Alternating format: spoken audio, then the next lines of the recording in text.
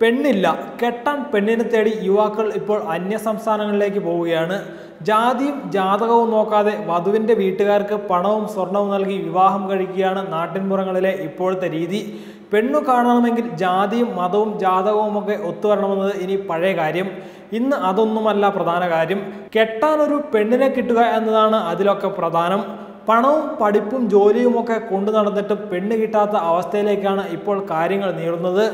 ഗ്രാമങ്ങളെന്നോ നഗരങ്ങളെന്നോ ഇതിന് വ്യത്യാസമില്ല. കെട്ടുപ്രായമെത്തിയ യുവാക്കൾ പല സ്ഥലങ്ങളിലും അനവധിയാണ്. കല്യാണം ആലോചിച്ച് നടന്ന് മടുത്ത മട്ടാണ് ഭൂരിഭാഗം പേരും. അതുകൊണ്ട് തന്നെ ഇപ്പോൾ എന്ത് ജാതി എന്ത് മതമെന്ന സ്ഥിതിയാണ് യുവാക്കളിൽ വലിയ ഭാഗത്തിനും. കോഴിക്കോട്ടെ ഗ്രാമങ്ങളിൽ മുപ്പതോളം വിവാഹങ്ങളാണ് ഇത്തരത്തിൽ നടന്നിരിക്കുന്നത്.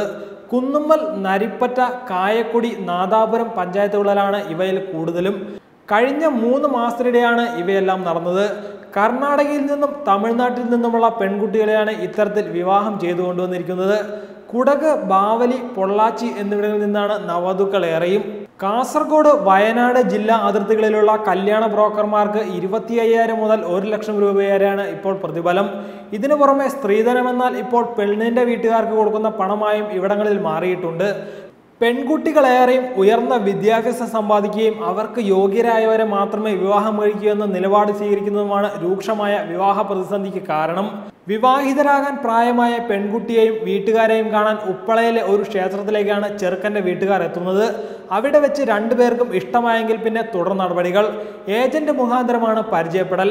ശേഷം പെൺകുട്ടിയുടെ വീട്ടുകാർ വരന്റെ നാട്ടിലെത്തി വിവാഹം നടത്തി കൊടുക്കും ഈഴവ വാണിയ ബ്രാഹ്മണ വിഭാഗത്തിലെ യുവാക്കളാണ് ഇത്തരത്തിൽ വിവാഹിതരായതിൽ ഏറെയും. ഇനിയും ഏറെപ്പേർ ഇവരുടെ വഴിയെ വിവാഹിതരാകാനുള്ള ഒരുക്കത്തിലാണ്. വധുവിന്റെ ജാതിയൊന്നും ആരും നോക്കാറില്ല. കാസർഗോഡ് വയനാട് ജില്ലാ അതിർത്തികളിലുള്ള കല്യാണ ബ്രോക്കർമാർക്ക് ഇപ്പോൾ വലിയ ഡിമാൻഡാണ്. ഇവർ കൂടുതൽ പണം ആവശ്യപ്പെട്ടാലും വില പേശാനൊന്നും ആരും മുതിരാറുമില്ല.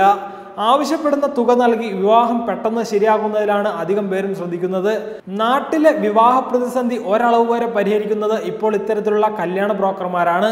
മലബാറിലെ മറ്റ് ജില്ലകളിലും സമാനമായ സ്ഥിതിയാണ് നിലവിലുള്ളത്. വെബ് ഡെസ്ക് തത്തുമൈ ന്യൂസ്.